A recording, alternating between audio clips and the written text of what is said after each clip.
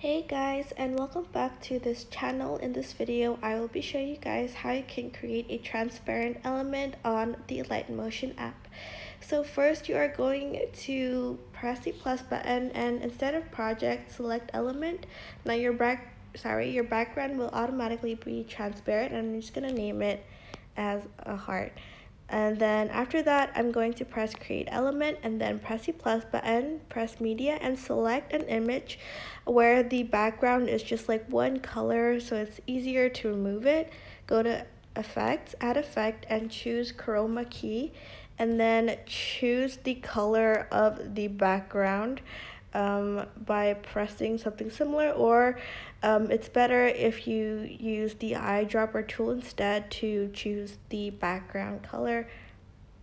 I'm just gonna adjust it a little bit and oops sorry and that's it. You have a transparent element now on Alight Motion. Um, i hope this tutorial was helpful for you guys. Don't forget to like comment share and also subscribe to this channel if you haven't done that.